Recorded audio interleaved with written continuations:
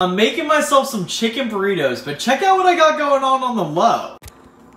One of these, this one, has a combination of Chick-fil-A honey mustard and ranch on it. This one's just cheese. I just put the steaming hot chicken on there so that all the cheese melts and gets all gooey. It's about to be so fire. This is the one with the sauce.